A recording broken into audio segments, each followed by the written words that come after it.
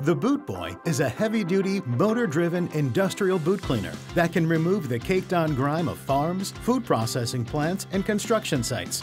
The Boot Boy is easy to set up. Simply set the unit on the steel pan and plug it into any standard outlet. A gentle pull on the handle will activate the motor and spin the three-sided nylon brush. Place one boot in and the brush will remove dirt and grime from the bottoms and sides of boots. Debris is collected in the steel pan rather than scattered on the floor like traditional boot scrapers.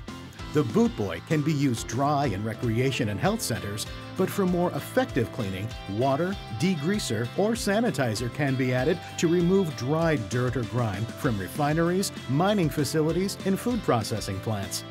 The Boot Boy is constructed out of 14 gauge steel and features a belt driven brush powered by a one third horsepower motor built to withstand commercial use. Whatever your janitorial needs are, you can rely on Uline to have the solution.